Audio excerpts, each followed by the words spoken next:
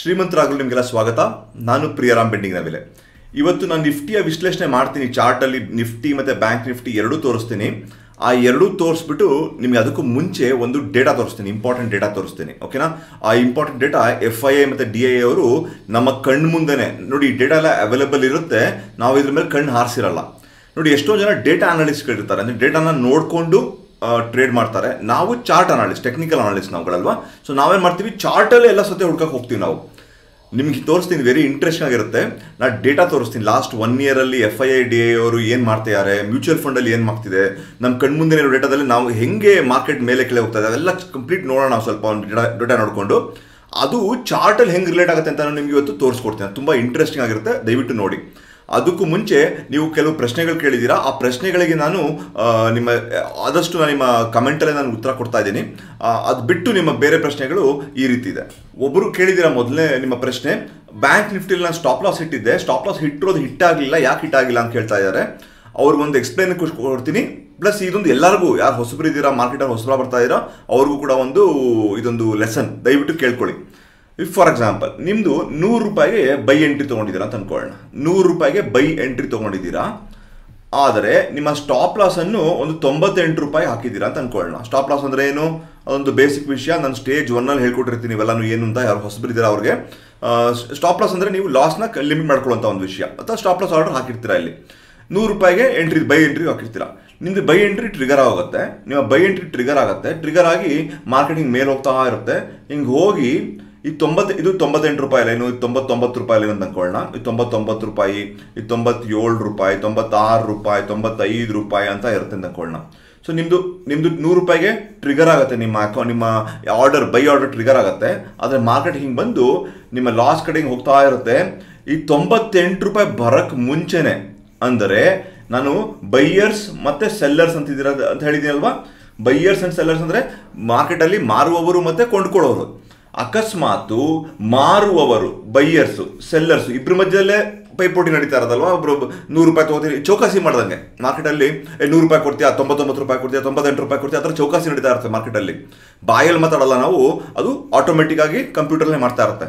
ಈಗ ಅಕಸ್ಮಾತು ಒಬ್ಬ ಸೆಲ್ಲರ್ ನಿಮಗೆ ಇಲ್ಲಿ ಕೂತಿರ್ತಾ ಅಂತ ತಿಳ್ಕೊಳ್ಳಿ. ಅಂದರೆ, ನೀವು ಸ್ಟಾಪ್ ಲಾಸ್ ಅಂದರೆ, ನೀವು ಫಸ್ಟು ಬೈ ಮಾಡಿದ್ದೀರಾ ನೆಕ್ಸ್ಟ್ ನೀವು ಸೆಲ್ ಮಾಡಬೇಕು, ಅಲ್ವಾ? ಫಸ್ಟು ಬೈ ಮಾಡಿದ್ರೆ ನೀವು ಇಲ್ಲಿ ನೆಕ್ಸ್ಟ್ ಏನು ಮಾಡಬೇಕು? ನಿಮ್ಮ ಸ್ಟಾಪ್ ಲಾಸ್ ಆರ್ಡರ್ ಅಂದ್ರೆ ಏನು? ಅದೊಂದು ಸೆಲ್ ಆರ್ಡರ್ ಆಗಿರುತ್ತೆ ಕರೆಕ್ಟಾ ನೀವು ಬೈ ಆರ್ಡರ್ ಹಾಕಿದ್ರೆ ಸ್ಟಾಪ್ ಲಾಸ್ ಆರ್ಡರ್ ಅಂದ್ರೆ ಸೆಲ್ ಆರ್ಡರ್ ಆಗಿರುತ್ತೆ. ಆದರೆ, ಆ ಸೆಲ್ ಆರ್ಡರ್ ಹಾಕಿದಾಗ ತೊಂಬತ್ತೆಂಟು ರೂಪಾಯಿಗೆ ಯಾರು ಬೈಯರ್ಸೇ ಇಲ್ಲ ಅಂದರೆ, ಅಕಸ್ಮಾತ್ ಇನ್ನೊಬ್ಬ ಬೈಯರ್ ತೊಂಬತ್ತೇಳು ರೂಪಾಯಿ ಕೂತಿದ ಅಂತ ಅನ್ಕೊಳ್ಳಿ. ಬೈಯರು ತೊಂಬತ್ತೇಳು ರೂಪಾಯಿ ಕೂತಿ ಅಂತ ಅನ್ಕೊಳ್ಳಿ. ಅವಾಗ ಇಲ್ಲಿ ಗ್ಯಾಪ್ ಡೌನ್ ಆಗ್ಬಿಡುತ್ತೆ. ಅಂದ್ರೆ ಇಲ್ಲಿ ತೊಂಬತ್ತೆಂಟು ರೂಪಾಯಿಗೆ ಇಲ್ಲಿ ವಹಿವಾಟುನೇ ಆಗಲ್ಲ. ಈ ಪಾಯಿಂಟಿಂದ ಜಂಪ್ ಹೊಡೆದು ಡೈರೆಕ್ಟಾಗಿ ತೊಂಬತ್ತೇಳು ರೂಪಾಯಿ ಬಂದ್ಬಿಡುತ್ತೆ. ಅಂದ್ರೆ ನಿಮ್ಮ ಸ್ಟಾಪ್ ಲಾಸ್ ಆರ್ಡರ್ ಏನು ತೊಂಬತ್ತೆಂಟು ರೂಪಾಯಿಗೆ ಹಾಕಿದ್ದೀರಾ ಆ ಲೆವೆಲಲ್ಲಿ ಕೊಂಡುಕೊಳ್ಳೋರು ಯಾರೂ ಇರಲ್ಲ ಅಂತ ಅರ್ಥ. ಆ ತೊಂಬತ್ತೆಂಟು ರೂಪಾಯಿ ಕೊಂಡ್ಕೊಳ್ಳೋರು ಯಾರೂ ಇಲ್ಲ ಅಂದರೆ ನಿಮಗೆ ಅದು ಸ್ಕಿಪ್ ಆಗಿ, ಅಂದರೆ ಗ್ಯಾಪ್ ಡೌನ್ ಆಗಿಬಿಟ್ಟು ಈ ಲೆವೆಲಿಂದ ಅದು ಹಿಂಗೆ ಹೋಗ್ತಾ ಇರುತ್ತೆ. ಸೊ ನಿಮ್ಮ ಸ್ಟಾಪ್ ಲಾಸ್ ಆರ್ಡರ್ ಏನಿದೆ, ಅದು ಟ್ರಿಗರೇ ಆಗಲ್ಲ. ನೀವು ಸ್ಟಾಪ್ ಲಾಸ್ ಹಾಕಿದ್ರೂ ಅದು ಟ್ರಿಗರ್ ಆಗಲ್ಲ. ಇದು ಒಂದು ರಿಸ್ಕ್ ಮಾರ್ಕೆಟ್ ರಿಸ್ಕ್ ಇದು ಲಿಕ್ವಿಡ್ ಇರೋ ಸ್ಟಾಕ್ಗಳು ಅಂದ್ರೆ ತುಂಬಾ ಜನ ವಹಿವಾಟು ಮಾಡುವಂಥ ಸ್ಟಾಕ್ಗಳಾದ ಬ್ಯಾಂಕ್ ನಿಫ್ಟಿ ನಿಫ್ಟಿ ಅಥವಾ ಆಕ್ಸಿಸ್ ಬ್ಯಾಂಕ್ ಅದು ತುಂಬಾ ಲಿಕ್ವಿಡ್ ಇರುವಂಥ ಒಂದು ವಹಿವಾಟು ಈ ಥರ ಆಗುವ ಚಾನ್ಸಸ್ ತುಂಬಾ ಕಮ್ಮಿ ಆಗತ್ತೆ. ಆದರೆ ಆಗುವ ಚಾನ್ಸಸ್ ತುಂಬ ಕಮ್ಮಿ ಇರುತ್ತೆ. ಆದರೆ ಈ ಥರನೂ ಆಗತ್ತೆ ಮಾರ್ಕೆಟಲ್ಲಿ ಯಾವಾಗಲೂ ಒಂದ್ಸರಿ ಆಗುತ್ತೆ. ಅದಕ್ಕೋಸ್ಕರನೇ ನಾವು ಆಪ್ಷನ್ಸಲ್ಲಿ ಡೀಲ್ ಮಾಡ್ಬೇಕಾದ್ರೆ ಹೆಡ್ಜಿಂಗ್ ಅಂತ ಒಂದು ಸ್ಟ್ರಾಟಜಿ ಇದೆ. ಹೆಡ್ಜಿಂಗ್ ಅಂದರೆ ನಮಗೆ ಮಾರ್ಕೆಟ್ ಎಲ್ಲಾದರೂ ಹೋಗಲಿ, ನನ್ನ ಲಾಸ್ ಬಂದು ಲಿಮಿಟ್ ಆಗಿರುತ್ತೆ. ಹೆಡ್ಜಿಂಗಲ್ಲಿ ಲಾಸ್ ಲಿಮಿಟ್ ಮಾಡ್ಬೋದು ಪ್ರಾಫಿಟ್ನ ಇದು ಮಾಡ್ಕೋಬೋದು ಅಥವಾ ರಾಂಗ್ ಪ್ರಾಫಿಟ್ನ ಲಿಮಿಟ್ ಮಾಡ್ಕೊಳ್ಳೋ ಸ್ಟ್ರಾಟಜಿಗಳೆಲ್ಲ ಇದೆ. ಆದರೆ ನಮ್ಮಲ್ಲಿ ಗ್ಯಾರಂಟೀಡ್ ಸ್ಟಾಪ್ ಲಾಸ್ ಇಲ್ಲ. ನಮ್ಮ ನಿಫ್ಟಿ ಮಾರ್ಕೆಟಲ್ಲಿ ನಮ್ಮ ಇದರಲ್ಲಿ ಗ್ಯಾರಂಟೀಡ್ ಸ್ಟಾಪ್ ಲಾಸ್ ಇಲ್ಲ. ಎಷ್ಟೊಂದು ಅಡ್ವಾನ್ಸ್ ಮಾರ್ಕೆಟಲ್ಲಿ ಆಸ್ಟ್ರೇಲಿಯಾ ಅಮೆರಿಕಲ್ಲ ಟ್ರೇಡ್ ಮಾಡ್ತಾ ಇದ್ದೆ ಮುಂಚೆ. ಅವಾಗಲ್ಲೆಲ್ಲ ನಾನು ಗ್ಯಾರಂಟೀಡ್ ಸ್ಟಾಪ್ ಲಾಸ್ ಅಂತ ಯೂಸ್ ಮಾಡ್ತಾ ಇದ್ದೆ. ಅದ್ರಲ್ಲಿ ಗ್ಯಾರಂಟೀಡ್ ಸ್ಟಾಪ್ ಲಾಸ್ ಅಂದ್ರೆ ಏನು? ಅಲ್ಲಿ ಬೈಯರ್ ಸೆಲ್ಲರ್ಸ್ ಇರಲಿ, ಆ ಲೆವೆಲ್ಗೆ ನಿಮ್ಮ ಬ್ರೋಕರೇ ಸೆಲ್ ಮಾಡ್ಕೊಬಿಡ್ತಾನೆ ಅಂದರೆ ಅವನು ರಿಸ್ಕ್ ತಗೋತಾನೆ ಅವ್ನು ರಿಸ್ಕ್ ಯಾಕೆ ತಗೋತಾನೆ? ನಿಮ್ಮ ಬ್ರೋಕರೇಜ್ ಸ್ವಲ್ಪ ಜಾಸ್ತಿ ತೊಗೊಂಡಿರ್ತಾನೆ. ಗ್ಯಾರಂಟಿಡ್ ಸ್ಟಾಪ್ ಲಾಸ್ ತೊಗೊಳಕ್ಕೆ ಆ ಟ್ರೇಡಿಗೆ ಒಂದು ಸ್ವಲ್ಪ ಜಾಸ್ತಿ ದುಡ್ಡು ತಗೋತಾನೆ. ಆ ಗ್ಯಾರಂಟಿಡ್ ಸ್ಟಾಪ್ ಲಾಸ್ ಯಾವಾಗಲೂ ಆಗಬೇಕು ಅಂತಿಲ್ಲ. ಯಾವಾಗಲೂ ಒಂದ್ಸರಿ ಆಗುತ್ತೆ. ಆ ಯಾವಾಗಲೂ ಒಂದ್ಸರಿ ಪ್ರಾಬ್ಲಮ್ ಆದಾಗ ಅದನ್ನು ತಪ್ಪಿಡೋಕ್ಕೆ ಈ ಥರ ಒಂದಿದೆ. ಸೊ ನೀವು ಯಾವ ಥರ ತಪ್ಪು ಯಾವ ಥರ ತಪ್ಪಿಸ್ಕೋಬೋದು? ಒಂದು ಹೆಡ್ಜಿಂಗ್ ಮಾಡಿ ತಪ್ಪಿಸ್ಕೋಬೋದು.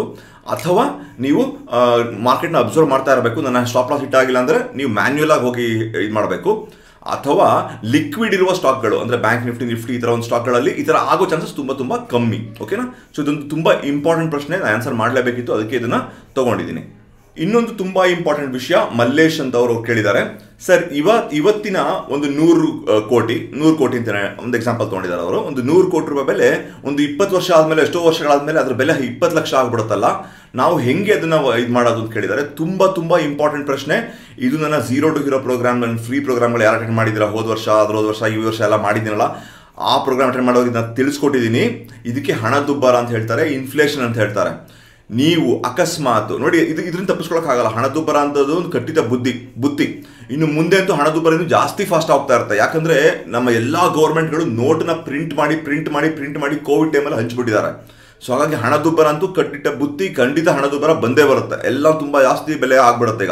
ಆಲ್ರೆಡಿ ಆಗ್ತಾ ಇದೆ ಬಟ್ ಇನ್ನು ಮುಂದೆ ಎರಡು ವರ್ಷಕ್ಕೆ, ಮೂರು ವರ್ಷಕ್ಕೆ ಇನ್ನೂ ತುಂಬಾ ಜಾಸ್ತಿ ಫಾಸ್ಟ್ ಆಗಿ ಹಣದುಬ್ಬರ ಆಗೇ ಆಗುತ್ತೆ. ಇದೊಂದು ಕಟ್ಟಿಟ್ಟ ಬುದ್ಧಿ. ಆಯ್ತಾ? ಇದಕ್ಕೆ ತಪ್ಪಿಸ್ಕೋಬೇಕು ಅಂದ್ರೆ ಏನು ಮಾಡಿದ್ರೆ, ಮಾಡಬೇಕು ಅಂದ್ರೆ ನೀವು ಹಣದುಬ್ಬರಕ್ಕಿಂತ ಫಾಸ್ಟ್ ಆಗಿ ಅರ್ನ್ ಮಾಡಬೇಕು. ನೀವು ಶ್ರೀಮಂತರು ಆಗಬೇಕು ಅಂದ್ರೆ ಹಣದುಬ್ಬರ ಎಷ್ಟು ಫಾಸ್ಟ್ ಆಗಿ, ಎಷ್ಟು ಫಾಸ್ಟ್ ಆಗಿ ನಿಮ್ಮ ಹಿಂದೆ ಕೇಳ್ತಾ ಇರ್ತೋ ನೀವು ಅದಕ್ಕಿಂತ ಫಾಸ್ಟ್ ಆಗಿ ಮುಂದಕ್ಕೆ ಜಿಗಿಬೇಕು. ಅದಕ್ಕೆ ಆ- ಥರ ಒಂದು ಹಣ ಗಳಿಸುವಂತ ಒಂದು ವಿಧಾನ ನೀವು ಕಲ್ತ್ಕೋಬೇಕು. ನಾನು ಸ್ಟಾಕ್ ಮಾರ್ಕೆಟ್ ಅಂತ ಹೇಳ್ತಾ ಇಲ್ಲ. ನೀವು ಏನಾದರೂ ಇರ್ಬೋದು ಅದರಲ್ಲಿ. ನೋಡಿ ಎಫ್ ಡಿ ಹಾಕ್ತೀನಿ ತಿಳ್ಕೊಳ್ಳಿ. F D approximately after tax tax ಎಲ್ಲ ಕಳಚ್ಕೊಂಡು ನಿಮಗೊಂದು ಮೂರರಿಂದ ನಾಲ್ಕು ಪರ್ಸೆಂಟ್ ಮಾತ್ರ ನಿಮ್ಗೆ ಬರುತ್ತೆ.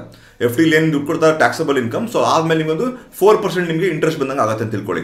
ಆದರೆ ಹಣದುಬ್ಬರ ಆರೂವರೆ ಪರ್ಸೆಂಟ್ ಹೋಗ್ತಾ ಇದೆ. ಅಂದರೆ ನಿಮ್ಮ ಒಂದು ಲಕ್ಷ ರೂಪಾಯಿ ಬೆಲೆ ಆಫ್ಟರ್ ಒನ್ ಇಯರ್ ತೊಂಬತ್ನಾಲ್ಕು ಸಾವಿರ ಆಗಿರುತ್ತೆ ಅದ್ರ ಬೆಲೆ. ಒಂದು ಲಕ್ಷ ರೂಪಾಯಿ ಅವರು ಬ್ಯಾಂಕ್ ಅಕೌಂಟಲ್ಲಿ ನೀವು ಇಟ್ಟಿದ್ರೆ ಒಂದು ಲಕ್ಷ ಆದಮೇಲೆ ಅದರ ಬೆಲೆ ಹಣದುಬ್ಬರದಿಂದ ತೊಂಬತ್ ನಾಲ್ಕು ಸಾವಿರ ಅಪ್ರಾಕ್ಸಿಮೇಟ್ಲಿ ಆಗುತ್ತೆ. ಆದರೆ ನಿಮಗೆ ಎಫ್ ಡಿ ಒಂದು ನಾಲ್ಕು ಸಾವಿರ ರೂಪಾಯಿ ಕೊಡುತ್ತೆ. ಅಂದರೆ ನಿಮಗೆ ಒಂದು ಲಕ್ಷ ರೂಪಾಯಿ ತೊಂಬತ್ತೆಂಟು ಸಾವಿರನೇ ಆಯಿತು. ಎಫ್ ಡಿಲಿ ಒಂದು ಲಕ್ಷ ರೂಪಾಯಿ ಇಟ್ಟಿರೋದು ಅದ್ರ ಒಂದು ವರ್ಷ ಆದಮೇಲೆ ಅದರ ಬೆಲೆ ತೊಂಬತ್ತೆಂಟು ಸಾವಿರನೇ. ಯಾಕಂದ್ರೆ ಅದ್ರ ಬೈಯಿಂಗ್ ಪವರ್ ತುಂಬ ಕಮ್ಮಿ ಇರುತ್ತೆ. ಇದೊಂದು ಫೈನಾನ್ಷಿಯಲ್ ಕಾನ್ಸೆಪ್ಟ್ ಇನ್ನೊಂದು ಫುಲ್ ಕ್ಲೀನಾಗಿ ಹೇಳ್ಕೊಡ್ತೀನಿ. ಬಟ್ ಎಫ್ ಡಿ ಅನ್ನೋದು ನಿಮ್ಮ ಹಣದುಬ್ಬರದಿಂದ ಆಗಿ ಓಡ್ತಿರೋದ್ರಿಂದ ಅದು ಒಳ್ಳೆ ವಿಧಾನ ಅಲ್ಲ. ನೀವು ಈ ಹಣದುಬ್ಬರನ ಬೀಟ್ ಮಾಡಬೇಕು ಅಂದರೆ ಹಣದುಬ್ಬರಕ್ಕಿಂತ ಫಾಸ್ಟ್ ಆಗಿ ನೀವು ಮುಂಚಿಗಿಬೇಕು ಅದು ಎರಡು ಸ್ಟೆಪ್ ಹಿಂದೆ ಹೇಳಿದ್ರೆ ನೀವು ನಾಲ್ಕು ಸ್ಟೆಪ್ ಮುಂದೆ ತೆಗಿಬೇಕು ಅಂತ ಒಂದು ವಿಧಾನ ನೀವು ಹುಡ್ಕೋಬೇಕು. ಅದಕ್ಕೆ ನನಗೆ ಗೊತ್ತಿರೋ ಬೆಸ್ಟ್ ವಿಧಾನ ಅಂದರೆ ಸ್ಟಾಕ್ ಮಾರ್ಕೆಟೇ ಓಕೆನಾ ಸೊ ಬೇರೆ ಬಿಸ್ನೆಸ್ಗಳು ಇರ್ಬೋದು, ಆದರೆ ಅದರದೇ ಆದಂಥ ರಿಸ್ಕ್ ರಿವಾರ್ಡ್ಸ್ ಎಲ್ಲ ಇರುತ್ತೆ. ನಮ್ಮ ಸ್ಟಾಕ್ ಮಾರ್ಕೆಟಲ್ಲಿ ನಿಮ್ಮ ರಿವಾರ್ಡ್ ಕೂಡ ಚಿಕ್ಕದು ಮಾಡ್ ರಿವಾರ್ಡ್ ಕೂಡ ದೊಡ್ಡದು ಮಾಡಿಕೊಂಡು ರಿಸ್ಕ್ ಕೂಡ ಚಿಕ್ಕದು ಮಾಡಿಕೊಂಡು ಹಣದುಬ್ಬರಕ್ಕಿಂತ ಫಾಸ್ಟಾಗಿ ಹೋಗುವಂಥ ಒಂದು ವಿಧಾನ ಆದ್ರಿಂದ stock market is most ideal ನಮ್ಮ ಹಣದುಬ್ಬರನ ಬೀಟ್ ಮಾಡೋಕ್ಕೆ. ಇದೆರಡು ತುಂಬ ಕ್ರೂಷಿಯಲ್ ಪ್ರಶ್ನೆ ಇತ್ತು. ಇನ್ನು ಮಿಕ್ಕಿದ ಪ್ರಶ್ನೆಗಳಿಗೆ ನಾನು ನಿಮ್ಮ ಚಾಟಲ್ಲೇ ಆನ್ಸರ್ ಮಾಡ್ತೀನಿ. ಈಗ ಎಲ್ಲದಕ್ಕಿಂತ ಮುಂಚೆ ನಾನೊಂದು ಮನಿ ಕಂಟ್ರೋಲ್ ವೆಬ್ಸೈಟ್ ಹೋಗಿದ್ದೀನಿ. ನಿಮಗೆ ಈ ಡೇಟಾ ಎಲ್ಲರೂ ಸಿಗುತ್ತೆ ನಿಮಗೆ. ಈ ಡೇಟಾ ಏನಂದ್ರೆ ಎಫ್ ಐ ಐ ಮತ್ತೆ ಡಿ ಐ ಐ ಅಂದ್ರೆ ಫಾರಿನ್ ಇನ್ಸ್ಟಿಟ್ಯೂಷನ್ ಇನ್ವೆಸ್ಟ್ಮೆಂಟ್ ಮತ್ತೆ ಡಿ ಐ ಅಂದ್ರೆ ಡೊಮೆಸ್ಟಿಕ್ ಇನ್ಸ್ಟಿಟ್ಯೂಷನ್ ಇನ್ವೆಸ್ಟರ್ಸ್ ಇವರುಗಳ ಹಣದು, ಹಣ ಹೆಂಗೆ ವ್ಯವಹಾರ ಮಾಡಿದ್ದಾರೆ ಮಾರ್ಕೆಟಲ್ಲಿ ಅದು ನೋಡೋಣ. ತುಂಬ ತುಂಬಾ ಇಂಟ್ರೆಸ್ಟಿಂಗ್ ಆಗಿದೆ. ನೋಡಿ, ಈ ಮೇಲಿನ ಸೆಕ್ಷನ್ ನೋಡಿದ್ರೆ ನಿಮಗೆ ಈ ಮೇಲಿನ ಸೆಕ್ಷನ್ ಅಲ್ಲಿ ನಿಮ್ಗೆ ಇಲ್ಲಿ ನೋಡ್ತಾ ಇರ್ಬೋದು. ಇಲ್ಲಿ F I A D I ಅವ್ರದ್ದು ಈ ಮಂತಿನ ಆಗಸ್ಟ್ ತಿಂಗಳ ಒಂದು ವಹಿವಾಟು. ನೀವು ನೋಡ್ತಾ ಇದ್ರೆ ಇಪ್ಪತ್ತೈದನೇ ಆಗಸ್ಟ್ ಎಫ್ ಐ ಅವರು ಸಾವಿರ ಕೋಟಿ ಮಾರ್ಕೊಂಡಿದ್ದಾರೆ, ಆಯ್ತಾ? ಇವರು, ಇವ್ರು ನೋಡಿದ್ರೆ ಒಂದು ನೂರೈವತ್ತು ಕೋಟಿ ಡಿ ಐ ಅವ್ರು ಮಾರ್ಕೊಂಡಿದ್ದಾರೆ. ಇಪ್ಪತ್ನಾಲ್ಕನೇ ಆಗಸ್ಟ್ ಈ ಸಾವಿರದ ಆರುನೂರು ಕೋಟಿ ಮಾರಿದ್ದಾರೆ ಡಿ ಐ ಅವ್ರು ಕೊಂಡ್ಕೊಂಡಿದ್ದಾರೆ. ಇಲ್ಲಿ ನೋಡ್ತಾ ಇದ್ದಾರೆ ಡಿ ಐ ಅವರು ನಮ್ಮ ನಿಮ್ಮಂತ ನಮ್ಮ ನಿಮ್ಮಂತ ಅಂದ್ರೆ ರಿಟೇಲ್ ಇನ್ವೆಸ್ಟರ್ಸ್ ಯಾರಿದ್ದಾರೆ? ಅವರು ಮ್ಯೂಚುವಲ್ ಫಂಡ್ ಈ ತರ ಫಂಡ್ಗಳಲ್ಲಿ ಹಾಕಿರ್ತಾರಲ್ಲ, ಅವ್ರ ದುಡ್ಡುಗಳನ್ನೇ ಹಾಕ್ತಾರೆ ಅಂದ್ರೆ ನಮ್ಮ ದುಮ್ಮ ದುಡ್ಡುಗಳೇ ಹಾಕ್ತಾ ಇರೋದು ಮಾರ್ಕೆಟಲ್ಲಿ ಈ ಡಿ ಐ ಅವ್ರು ಏನು ಕೊಂಡ್ಕೋತಿದ್ದಾರೆ, ಇದು ನಮ್ಮ ನಿಮ್ಮ ದುಡ್ಡನೇ. ಅಂದ್ರೆ ನಮ್ಮ ನಿಮ್ಮ ದುಡ್ಡು ನಾನು ಮ್ಯೂಚುವಲ್ ಫಂಡ್ ಹಾಕಲ್ಲ, ನಂದೇ ಬೇರೆ ವ್ಯವಹಾರ ಇರುತ್ತೆ. ಆದ್ರೆ ಮ್ಯೂಚುವಲ್ ಫಂಡ್ ಅಲ್ಲಿ ಯಾರು ಹಾಕ್ತಿರ್ತಾರೆ, ಅವ್ರ ದುಡ್ಡುಗಳನ್ನ ಹೋಗಿ ಹೋಗಿ ಮಾರ್ಕೆಟಲ್ಲಿ ಇನ್ವೆಸ್ಟ್ ಮಾಡ್ತಿದ್ದಾರೆ. ಅದನ್ನ ಮಾರ್ಕೋತಿರೋದು ಯಾರು? F I I foreign institution ಇನ್ವೆಸ್ಟರ್ಗಳು ಅವ್ರುಗಳಲ್ಲಿ ಮಾರ್ಕೋತಾರೆ ನೀವು ನೋಡ್ತಾ ಇರ್ಬೋದು. ನೀವು ಕಂಟಿನ್ಯೂಸ್ ನೋಡ್ಬೋದು, ಆಗಸ್ಟ್ ತಿಂಗಳಲ್ಲಿ ಅವರು ಮಾರ್ಕೋತಾನೇ ಬರ್ತಾ ಇದ್ದಾರೆ. ಮಧ್ಯಾಹ್ನದ ಎರಡು ದಿನ ಬೈ ಮಾಡಿದ್ದಾರೆ ಬಟ್ ಆದರೆ ಮ್ಯಾಕ್ಸಿಮಮ್ ದಿನ ಎಫ್ ಐ ಐ ಅವರು ಅಂದ್ರೆ ಫಾರಿನ್ ಇನ್ಸ್ಟಿಟ್ಯೂಷನ್ ಇನ್ವೆಸ್ಟರ್ ಅಮೆರಿಕನ್ಸ್ ದೊಡ್ಡ ದೊಡ್ಡ ಫಾರಿನ್ ಇನ್ವೆಸ್ಟ್ಮೆಂಟ್ ಬ್ಯಾಂಕ್ಗಳು ಅವರು ಮಾರ್ಕೊಂಡಿದ್ದಾರೆ. ನಮ್ಮ ಇಂಡಿಯನ್ ನಮ್ಮ ಮ್ಯೂಚುವಲ್ ಫಂಡ್ ಹೌಸ್ಗಳು ಅದನ್ನ ಕೊಂಡ್ಕೊಂಡಿದ್ದಾರೆ. ವೆರಿ ಇಂಟ್ರೆಸ್ಟಿಂಗ್ ಆಯ್ತಾ? ಇನ್ನು ಏನೇ ಅಂತ ಹೇಳ್ತೀನಿ ವಿಷಯ. ಈಗ ಇದು ತಿಂಗಳು ತಿಂಗಳು. ಅಂದ್ರೆ ಪ್ರತಿ ತಿಂಗಳು ಏನಾಗ್ತಿದೆ ಅಂತ ನೋಡ್ತಿದ್ದಾರೆ ನೋಡಿ, ಪ್ರತಿ ತಿಂಗಳು ನಮ್ಮ ಇದರಲ್ಲಿ ನೀವು ನೋಡಿದ್ರೆ ಏಪ್ರಿಲ್ ಎರಡ್ ಸಾವಿರದ ಇಪ್ಪತ್ತೊಂದಾದ್ಮೇಲೆ ಎಫ್ ಐ ಅವರು ಕಳಚ್ಕೋತಾನೇ ಇದ್ದಾರೆ. ನೋಡಿ, ಹನ್ನೆರಡು ಸಾವಿರ ಕೋಟಿ ಮಾರ್ಕೊಂಡ್ರು, ಆರು ಸಾವಿರ ಕೋಟಿ ಮಾರ್ಕೊಂಡ್ರು, ಇಪ್ಪತ್ತೈದು ಕೋಟಿ ಮಾರ್ಕೊಂಡ್ರು, ಆಮೇಲೆ ಇಪ್ಪತ್ತ್ ಮೂರು ಸಾವಿರ ಕೋಟಿನ ಜುಲೈಯಲ್ಲಿ ಮಾರ್ಕೊಂಡಿದ್ದಾರೆ. ಆದ್ರೆ ಅದೇ ಇದನ್ನ ಮಾರ್ಕೊಂಡಿರೋದ್ರಲ್ಲಿ ನಮ್ಮ ಡಿ ಐ ಅವರು, ಅಂದ್ರೆ ಡೊಮೆಸ್ಟಿಕ್ ಇನ್ಸ್ಟಿಟ್ಯೂಷನ್ ಇನ್ವೆಸ್ಟರ್ ಅವರು ಇಲ್ಲಿ ಕೊಂಡ್ಕೊತಾ ಇದ್ದಾರೆ. ಅಂದರೆ ನಮ್ಮ ಹತ್ರ ಏನು ನಮ್ಮ ಎಕ್ಸ್ಟ್ರಾ ದುಡ್ಡು ಬರ್ತಿದೆ, ನೀವು ನೋಡ್ತಾ ಇರಂಗೇನೆ ಈ ಕೋವಿಡ್ ಆದಮೇಲೆ ಟ್ರೇಡರ್ಗಳು ನಮ್ಮ ಇಂಡಿಯಾದಲ್ಲಿ ಎಷ್ಟಿದ್ರು ಅದು ಡಬ್ಬಲ್ ಹೋಗಿದ್ದಾರೆ ಇನ್ವೆಸ್ಟರ್ ಸ್ಟಾಕ್ ಮಾರ್ಕೆಟ್ ಬಂದಿರೋರು. ಅಂದ್ರೆ ಎಲ್ಲರೂ ಸ್ಟಾಕ್ ಮಾರ್ಕೆಟ್ ಹೋಗ್ತಿದ್ದಾರೆ ಈಗ. ಆಯ್ತಾ? ನಮ್ಮ ರೀಟೇಲರ್ಸ್ ಹೋಗ್ತಿರೋದು ಇನ್ಸ್ಟಿಟ್ಯೂಷನ್ ಅವರಲ್ಲ. ಎಫ್ ಐ ಐ ಅಂದ್ರೆ ಫಾರಿನ್ ಇನ್ಸ್ಟಿಟ್ಯೂಷನ್ ಇನ್ವೆಸ್ಟರ್ಸ್ ಅವರು ಬಂದಾಗ ಮಾರ್ಕೆಟ್ನ ಸಡನ್ ಆಗಿ ಝೂಮ್ ಅಂತ ಹೊಡೋದು ನೋಡಿ ತೋರಿಸ್ತೀನಿ. ನೋಡಿ ಮಾರ್ಚಲ್ಲಿ ಹೋದ ವರ್ಷ ಮಾರ್ಚಲ್ಲಿ ನಮ್ಮ ಏಪ್ರಿಲ್ ಮಾರ್ಚಲ್ಲಿ ನಮ್ಮ ಮಾರ್ಕೆಟ್ ಬಿದ್ದಿತ್ತು. ಅದಾದಮೇಲೆ ಎಫ್ ಐ ಅವ್ರು ನೋಡಿ ಎಷ್ಟು ದುಡ್ಡು ಹಾಕಿದ್ದಾರೆ ಅಂತ ಇಲ್ಲಿ. ಹದಿಮೂರು ಕೋಟಿ, ಐದು ಸಾವಿರ ಕೋಟಿ. ಎರಡು ಸಾವಿರ ಕೋಟಿ, ಹದಿನೈದು ಸಾವಿರ ಕೋಟಿ, ಅರವತ್ತೈದು ಸಾವಿರ ಕೋಟಿ, ನೋಡಿ, ಅರವತ್ತೆಂಟು ಸಾವಿರ ಕೋಟಿ ಸುಮ್ಮನೆ ಅವ್ರು ಬಂದು ದುಡ್ಡು ತೊಗೊಂಬರ್ತಾರೆ ಯಾಕಂದರೆ ಮಾರ್ಕೆಟಲ್ಲಿ ನನ್ನ ಮಾರ್ಕೆಟ್ ಫೇಸಸ್ ವಿಡಿಯೋ ನೋಡ್ಕೊಂಬನ್ನಿ ಗ್ಯಾನ್ ಸೀರೀಸ್ ಅಲ್ಲಿ ಹಾಕಿದ್ದೀನಿ. ನಾನು ತುಂಬ ಕ್ಲಿಯರ್ ಆಗಿ ಹೇಳಿದ್ದೀನಿ. ಸ್ಮಾರ್ಟ್ ಮನಿ ಅವರು ಅಕ್ಯುಮುಲೇಟ್ ಮಾಡಿಕೊಂಡು ಸಡನ್ ಆಗಿ ಅದನ್ನ ಮೇಲೆ ತೊಗೊಂಡು ಹೋಗ್ತಾರೆ. ಜೊತೆಗೆ ರಿಟೇಲರ್ಸ್ ಅವರು ಪಾರ್ಟಿಸಿಪೇಟ್ ಮಾಡಿರ್ತಾರೆ. ಆ- ಆ ಟೈಮಲ್ಲೆಲ್ಲ ನೋಡಿ ರಿಟೇಲರ್ಸ್ ಅವರು ಮಧ್ಯದಲ್ಲಿ ಪಾರ್ಟಿಸಿಪೇಟ್ ಮಾಡಿದ್ದಾರೆ. ಇಲ್ಲ ನೋಡಿ ಐವತ್ತೈದು ಸಾವಿರ ಕೋಟಿ, ಹದಿನಾರು ಸಾವಿರ ಕೋಟಿ ಈ ಥರ ಪಾರ್ಟಿಸಿಪೇಟ್ ಮಾಡಿದ್ದಾರೆ. ಮಾಡ್ಕೊಂಡು ಮೇಲೆ ತೊಗೊಂಡೋದ್ರು. ಮೇಲೆ ತೊಗೊಂಡೋಗಿ ಈಗ ಅವರುಗಳು ಲಾಸ್ಟ್ ಒಂದು ಫೋರ್ ಮಂತ್ಸಿಂದ ಪ್ರಾಫಿಟ್ ಬುಕ್ ಮಾಡ್ತಿದ್ದಾರೆ. ಇದು ನಮ್ಮ ಮಾರ್ಕೆಟ್ ಫೇಸ್ ವಿಡಿಯೋದಲ್ಲಿ ನಾನು ಹಾಕಿದ್ದೀನಿ ಇದನ್ನ. ಜೊತೆಗೆ ಇದು ನಮ್ಮ ವೇವ್ ಅನಾಲಿಸಿಸ್ ಪ್ರಕಾರ ಇದು ವೇವ್ ಫೋರ್ ವೇವ್ ಫೋರಿನ ಲಕ್ಷಣ. ಅದಕ್ಕೆ ನಿಮಗೆ ಮಾರ್ಕೆಟ್ ಅಷ್ಟೊಂದು ವಾಲಿಟಿಲಿಟಿ ಅಂದರೆ ತುಂಬ ಸ್ಮಾರ್ಟ್ ಮನಿ ಹಣ ಇರೋರು ಮಾರ್ಕೋತಾ ಇದ್ದಾರೆ ತುಂಬ ಹಣ ಇರೋರು ಕೊಂಡ್ಕೋತಾ ಇದ್ದಾರೆ ಈ ಥರ ಒಂದು ಜಗ್ಗಾಟ ಆರೋದ್ರಿಂದ ಮಾರ್ಕೆಟು ತುಂಬ ವಾಲ್ಟಲ್ ಮೇಲೆ ಕೆಳಗೆ ಮೇಲೆ ಕೆಳಗೆ ಮೇಲೆ ಕೆಳಗೆ ಬರ್ತಾ ಇರೋದು. ಇದೊಂದು ಡೇಟಾ ವಿಷಯ ಆಯಿತು. ಇದೇ ಡೇಟಾ ನಾನು ಈಗ ಚಾರ್ಟಲ್ಲಿ ತೋರಿಸ್ತೀನಿ ನಿಮಗೆ. ಎಷ್ಟು ಬ್ಯೂಟಿಫುಲ್ ಆಗಿದೆ ಅಂತ ತೋರಿಸ್ತೀನಿ. ನೋಡಿ ಚಾರ್ಟಲ್ಲಿ ನಾನು ಡೈಲಿ ಡೈಲಿ ಚಾರ್ಟಿಗೆ ಬಂದಿದ್ದೀನಿ. ಈ ಡೈಲಿ ಚಾರ್ಟಿಗೆ ಬಂದರೆ ನೀವು ನೋಡ್ಬೋದು, ಈ ಪಾಯಿಂಟಲ್ಲಿ ಅಂದರೆ ಮಾರ್ಕೆಟು ಈ ಲೆವೆಲ್ ಎಲ್ಲ ಇರಬೇಕಾದ್ರೆ ನಮ್ಮ ಈ ಲೆವೆಲ್ಗಳು. ಈ ಲೆವೆಲ್ಗಳಂದ್ರೆ ಮಾರ್ಚ್ ಎರಡ್ ಸಾವಿರದ ಇಪ್ಪತ್ತು ಇಲ್ಲಿ ಬಿದ್ದಲ್ಲ ಬಿತ್ತಲ್ಲ, ಈ ಪಾಯಿಂಟ್ಗಳಲ್ಲಿ ಎಫ್ ಐ ಐ ಡಿ ಅವರು ಹಣನ ತುಂಬಿ ತುಂಬಿ ತುಂಬಿ ಕೊಟ್ಟರು ಎಫ್ ಐ ಮತ್ತು ಡಿ ಐ ಇಬ್ಬರೂ F I especially foreign institution investors ನಮ್ಮ ಸ್ಟಾಕ್ ಮಾರ್ಕೆಟಲ್ಲಿ ತುಂಬ ದುಡ್ಡು ಹೂಡಿಕೆ ಮಾಡಿದ್ರು. ಹೆಂಗೆ ಅವ್ರಿಗೆ ಎಷ್ಟು ದುಡ್ಡು ಬಂತು ಹೆಂಗೆ ಅಂತ ಅನ್ಕೊಂಡಿದ್ದೀರಾ? ಅಮೆರಿಕಾದಲ್ಲಿ ಟ್ರಂಪ್ ಇದ್ನಲ್ಲ, ಅವನು ಕೋವಿಡ್ ಟೈಮಲ್ಲಿ ಟ್ರಿಲಿಯನ್ಸ್ ಟ್ರಿಲಿಯನ್ಸ್ ಆಫ್ ಡಾಲರ್ಸ್ನ ಪ್ರಿಂಟ್ ಮಾಡ್ದ, ಹೊಸ ದುಡ್ಡನ್ನು ಪ್ರಿಂಟ್ ಮಾಡ್ದ. ಅದಕ್ಕೆ ಎಂ ಒನ್ ಮನಿ ಅಂತ ಹೇಳ್ತಾರೆ, ಅದ್ರ ಬಗ್ಗೆ ಇನ್ನೊಂದು ವಿಡಿಯೋ ಮಾಡ್ತೀನಿ ಬೇಕಿದೆ ಆ ಎಂ ಒನ್ ಮನಿನ ಪ್ರಿಂಟ್ ಮಾಡಿ ಅವನು ಅವನ ದೇಶದಲ್ಲಿ ಹಂಚ್ದ. ಅವನ ದೇಶದಲ್ಲಿ ಹಂಚಿದ್ರೆ ಅವನ ದೇಶದಲ್ಲೇ ಉಳ್ಕೊಳ್ಳಲ್ಲ ದುಡ್ಡು. ಅವನ ದೇಶದಲ್ಲಿ ಇರೋದು ಈ ಜನ, ಯಾರೋ ಒಬ್ಬಂಗೆ ದುಡ್ಡು ಕೊಟ್ಟರು ಅವನು ಏನು ಮಾಡ್ತಾನೆ, ಹೋಗಿ ಅವನು ಕಾರ್ ತೊಗೊಂಡ, ಅವನ ಮನೆ ತೊಗೊಂಡ ಒಂದು ಶರ್ಟ್ ತೊಗೊಂಡ, ಒಂದು ಎ ಸಿ ತೊಗೊಂಡ, ಏನೋ ತೊಗೊಂಡ. ಅದೆಲ್ಲ ಈ ಕಂಪನಿಗಳಿಗೆ ಬರುತ್ತೆ. ಆ ಕಂಪನಿಗಳು ಅಥವಾ ಅವ್ರುಗಳೇ ಮ್ಯೂಚುವಲ್ ಫಂಡಲ್ಲಿ ಅಲ್ಲಿ ಇಲ್ಲಿ ಹೂಡಿಕೆ ಮಾಡ್ತಾರೆ ಅಮೆರಿಕನ್ಸು ಆ ದುಡ್ಡು ಎಲ್ಲೋಗುತ್ತೆ ಅನ್ಕೊಂಡಿದ್ದೀರಾ? ಅದೇ F I foreign institution investors ಅವರೆಲ್ಲ ತೊಗೊಂಬಂದು ನಮ್ಮ ಡೆವಲಪಿಂಗ್ ದೇಶಗಳು ಪ್ರಪಂಚದಲ್ಲಿ ಎಲ್ಲಿದೆ, ಅಲ್ಲೆಲ್ಲ ಎಲ್ಲಿ ಪ್ರಾಸ್ಪೆಕ್ಟ್ ಚೆನ್ನಾಗಿದೆ ನಮ್ಮ ನಮ್ಮ ನಿಫ್ಟಿ ಏಳು ಸಾವಿರದ ಐನೂರು ಬಿದ್ದೋಗಿತ್ತು ಎಷ್ಟು ಚೀಪಾಗಿ ಸಿಗುತ್ತೆ ಎಲ್ಲ ಸ್ಟಾಕುವೆ ಸೊ ಅವರು, ಅವ್ರ ದುಡ್ಡುಗಳನ್ನ ತೊಗೊಂಬಂದು ನಮ್ಮ ದೇಶದಲ್ಲಿ ಹೂಡಿಕೆ ಮಾಡಿದ್ರು. ಅದಕ್ಕೆ ಮಾರ್ಕೆಟಿಂಗ್ಗೆ ಝುಮ್ ಅಂತ ಮೇಲೆ ಹೋಯ್ತು. ಹಾಗೆ ಝೂಮ್ ಅಂತ ಹೋದ ಮೇಲೆ ಈ ಒಂದು ಇದು ಡೈಲಿ ಚಾರ್ಟ್ ಅದನ್ನು ಮರಿಬೇಡಿ. ನೋಡಿ, ಈ ಫುಲ್ ಒಂದು ಸೆಕ್ಷನ್ ಏನಿದೆ, ಇಲ್ಲಿ ಅವರು ತಮ್ಮ ದುಡ್ಡುಗಳನ್ನ ಕಳಚ್ಕೊಂಡು ಬಂದರು. ಇದು ನಮ್ಮ ಮಾರ್ಕೆಟ್ ಫೇಸಿನ ಎಕ್ಸಾಕ್ಟ್ ಎಕ್ಸಾಕ್ಟ್ ಸಿನಾರಿಯೋ ಇದು ಅವರ ದುಡ್ಡುಗಳನ್ನ ಕಳಚ್ಕೊಂಡ್ ಬಂದ್ರು ಈ ಪಾಯಿಂಟ್ ಅಲ್ಲಿ. ಆಯ್ತಾ? ಈಗ ಈ ಒಂದು ರ್ಯಾಲಿ ಕೊಡ್ತಾ ಇದೆಯಲ್ಲ, ಈ ಒಂದು ರ್ಯಾಲಿ ನಮ್ಮ ಡೊಮೆಸ್ಟಿಕ್ ಇನ್ಸ್ಟಿಟ್ಯೂಷನ್ ಇನ್ವೆಸ್ಟರ್ಸ್ ಅಂದ್ರೆ ಡೊಮೆಸ್ಟಿಕ್ ಅಂದ್ರೆ ದೊಡ್ಡ ಇನ್ಸ್ಟಿಟ್ಯೂಷನ್ ಹೋಗ್ಬೇಡಿ ಅದು ನಮ್ಮ ನಿಮ್ಮ ದುಡ್ಡುಗಳೇ. ಈಗ ನಮ್ಗೆ ಸಂಬಳ ಜಾಸ್ತಿ ಆಯಿತು, ಇನ್ನೆಲ್ಲ ದುಡ್ಡು ಬಂತು, ಏನೋ ಬಂತು, ನಾ ಹೋಗಿ ಸ್ಟಾಕ್ ಮಾರ್ಕೆಟ್ಗೆ ಹಾಕ್ತಿದ್ದೀನಿ ಮ್ಯೂಚುವಲ್ ಫಂಡ್ ತಗೋತಾ ಇದ್ದೀನಿ ಇನ್ವೆಸ್ಟ್ಮೆಂಟ್ ಮಾಡ್ತಾ ಇದ್ದೀನಿ. ಈ ಥರ ಮಾಡಿರೋ ದುಡ್ಡುಗಳು ಇಲ್ಲಿ ಬರ್ತಾ ಇದೆ. ಅನ್ಲೆಸ್ ಆ್ಯಂಡ್ ಅಂಟಿಲ್ ನೋಡಿ ಅನ್ಲೆಸ್ ಆ್ಯಂಡ್ ಅಂಟಿಲ್ ತುಂಬ ತುಂಬ ಕೇರ್ಫುಲ್ ಆಗಿ ಕೇಳ್ಕೊಳ್ಳಿ. ಅನ್ಲೆಸ್ ಆ್ಯಂಡ್ ಅಂಟಿಲ್ ನಮಗೆ ನಿಜವಾಗ್ಲೂ ಒಂದು ಎಕನಾಮಿಲಿ ಒಂದು ಬೂಮ್ ಬರೋ ತನಕ ಎಕನಾಮಿಲಿ ಒಂದು ಚೆನ್ನಾಗಿ ಒಂದು ಒಂದು ಬೂಮ್ ಬರೋ ತನಕನೂ ಈ ಒಂದು, ಇದೊಂದು ಮೂವ್ ಏನಿದೆ, ದೊಡ್ಡ ಮೂವ್ ಒಂದಿದೆ ಅಪ್ ಟರ್ನ್ ಮೂವ್ ಇದೆ, ಇದೊಂದು ಫೇಕ್ ಮೂವ್ ಆಗುತ್ತೆ. ಎಕನಾಮಿಲಿ ನಮಗೆ ಚಿಗುರಿಕೆ ಬಂದಿಲ್ಲ ಅಂದ್ರೆ ಅದು ಎಕನಾಮಿ ಚಿಗುರಿಕೆ ಬಂದ್ರೆ ಅಕಸ್ಮಾತು ಈ ಒಂದು ರೇಂಜ್ನ ಬೀಟ್ ಮಾಡ್ಕೊಂಡು ಮತ್ತೆ ಮೇಲೆ ಹೋಗುತ್ತೆ ಮಾರ್ಕೆಟ್ ಅವಾಗ ಎಫ್ ಐ ಅವರು ಮತ್ತೆ ಬರ್ತಾರೆ ನಮ್ಮ ದೇಶದಲ್ಲಿ ಹೂಡಿಕೆ ಮಾಡಕ್ಕೆ. ಯಾಕಂದರೆ ಅವಾಗ ಪ್ರಾಫಿಟ್ ಬರುತ್ತೆ ಅಂತ ಅರ್ಥ. ಇದು ಒಂದು ಕತೆ ಥಿಯರಿ ಕತೆ ಆಯ್ತು. ಇದು ನಮಗೆ ಚಾರ್ಟ್ ಅಲ್ಲಿ ಎಲ್ಲಿ ಗೊತ್ತಾಗುತ್ತೆ? ಆರ್ ಎಸ್ ಎಲ್ ಡೈವರ್ಜೆನ್ಸ್ ಇಂದ.